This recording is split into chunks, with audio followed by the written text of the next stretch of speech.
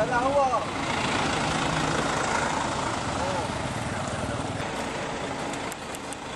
Sekalipun Vietnam memiliki pertahanan berpangkalan di Eropah, Duan Van Hau, penyerang negara Nur Syahrul Idlan Talaha, optimis mahu merobek gawang lawan itu menjelang aksi kelayakan Piala Dunia 2022 dan Piala Asia 2023.